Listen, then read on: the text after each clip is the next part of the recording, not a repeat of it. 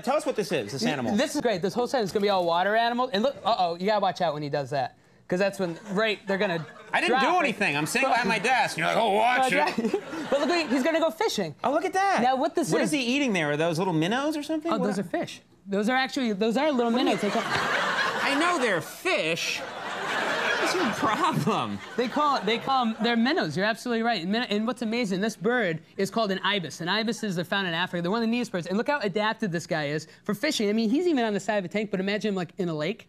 He could actually use those A lake, toes. so that would be like bigger and more fish. Yeah, it'd be a lot bigger fish too. Uh, anyway. Yeah. So he, he perches there and he uses this long beak. He's pretty much lost interest. Uh, and he's crapping on my desk. That's how he's. I like how. Nice. He stopped. he's cool. It was fun. I was like, he stopped for a second. I, like, I was wondering, what's he